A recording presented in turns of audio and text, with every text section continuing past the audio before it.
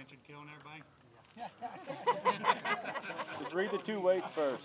Your Yeah, first Rick. place team for Rick Waite. 2011 with 15.02 pounds and $10,000. Chuck McAuley. There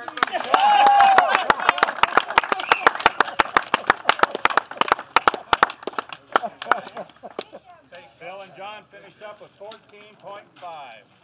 Good Nice job, guys. There he is. Good Fourteen five, Guys, you got a fifteen trophy. two, seven tenths. Let's get all all of them, all five of you there.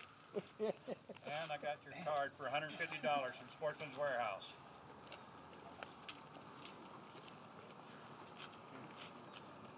Okay, group up.